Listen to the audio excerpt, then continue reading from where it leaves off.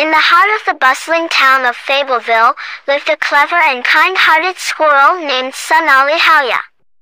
With her shiny brown fur and a bushy tail that could flicker like the sunlight, Sunali was known far and wide for her incredible curiosity and problem-solving skills.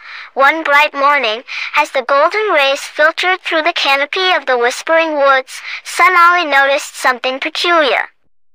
The usually chirpy chirps of the forest birds had turned into anxious whispers.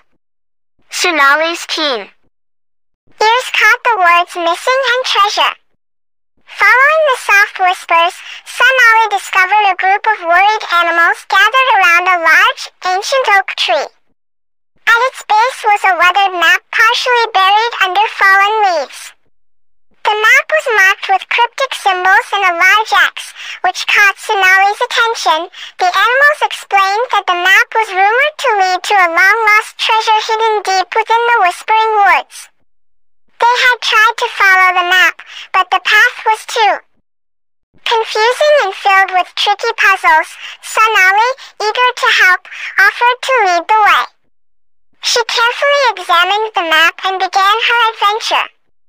The first challenge was of hidden paths that twisted and turned. Sunali used her sharp eyes and quick thinking to solve a riddle inscribed on a rock that revealed the correct path. Next, Sunali faced a large, shimmering river.